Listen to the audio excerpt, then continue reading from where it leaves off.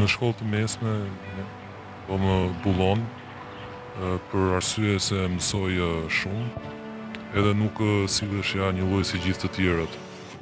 Ky është rrëfimi i një djali gjashtëmbëdhjetë vjeçar, nxënës në një prej gjimnazeve të Tiranës. Çdo ditë ai përballet me përbuzjen e shokëve të klasës. Çfarë bënin të tjerët që ti e kishe ndryshe?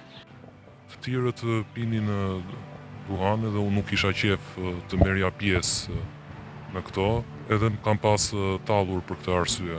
Çfarë të thonin? Nuk kam qejf t'i përmend. Kanë pas ofenduar shumë. Për t'u shoqëruar me shokët, duhet të merrte veset e tyre. Edhe doja të isha edhe unë si ata. Dhe kur filloi që ti të bëheshe pjesë e kësaj shoqërie dhe të filloje të konsumoje alkoolin dhe duhanin? Ka nisur në fillim të vitit të dytë. Gjashtëmbëdhjetë vjeçari tregon se prindërit e tij janë përpjekur ta ndihmojnë që të heqë dorë nga këto vese. Prindërit kujtojnë që i kam rralluar, po nuk më pëlqen t'i them prindërve për sasinë e cigares. Sa paketa cigare pi në ditë? Pi një paketë në ditë. Kur është ai momenti që ju bëni bashkë dhe pini? Gjatë pushimit e pimë. E pi kudo në shpi, jashtë kur dal me disa shokë që kam nga gjimnazi.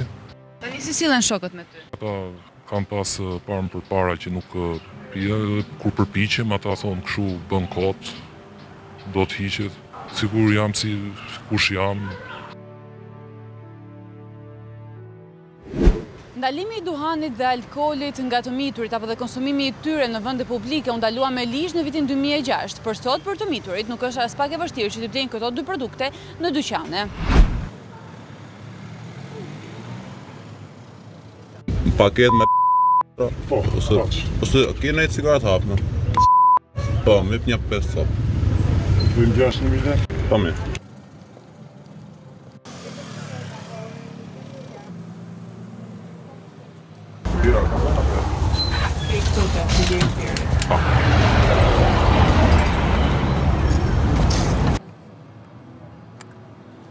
Do qese një mjetër që Po ma e vënë qese